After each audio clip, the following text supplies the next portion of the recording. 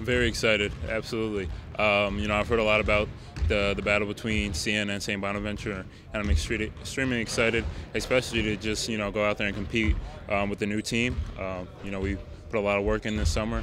I'm excited to see it, uh, you know, all together, you know, on the court. Just sharpening up, getting everything that we need to do right, and uh, getting it ready. We're, we're, all excited. We're all ready to go. Like, there's a little bit of a buzz in here, so we're ready to lock in for a few days and then get over there and take care of business. Uh, you know, we got to get better and work on ourselves every single day. Um, and, and, at the end of it, you know, it's going to be always more about us than than the opponent, right? If we do what we got to do and we control what we can control and you know we execute the finer details of every game plan, it, it's going to be about Siena basketball. I mean, we've had an exhibition game and a scrimmage and a lot of practice time now to, to get used to each other and get in the flow of things. So I, I think we're, we're ready.